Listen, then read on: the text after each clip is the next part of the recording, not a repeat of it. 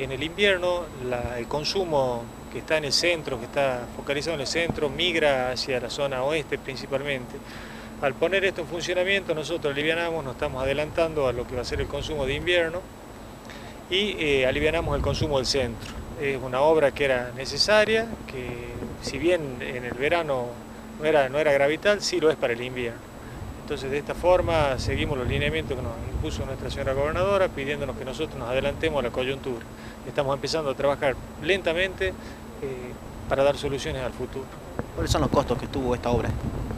Bueno, esta obra está englobada lo que es el alquiler de los equipos a seco dentro de un monto global que son los 14 megas que alquila la empresa, que no son los que proveen ARSA, sino que directamente la empresa ha alquilado.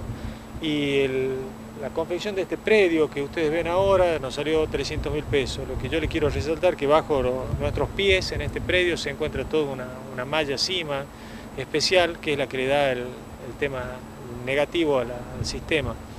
Eh, lo, eso es lo que lo hace caro a esta, la confección de este predio.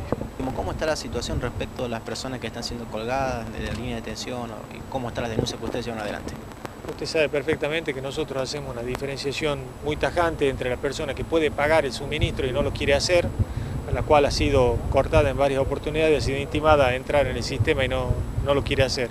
A esas personas lamentablemente hemos tenido que optar por la vía judicial, con los tiempos propios de la justicia, se está imputando a casi 350 ciudadanos que no usuarios eh, que estaban en forma irregular y otra muy distinta a la persona que es un carenciado en el cual el fin social que nos ha impuesto nuestra señora gobernadora, nosotros hacemos por todos los medios de incluir, mandando el asistente social. Así que esa, esa es la diferencia. Unas personas no pueden pagar y nosotros les damos todas las armas para que entren dignamente en el sistema y la persona que pudiendo pagar y no lo hace, lamentablemente ya hemos llegado a la instancia de tener que denunciarlos penalmente.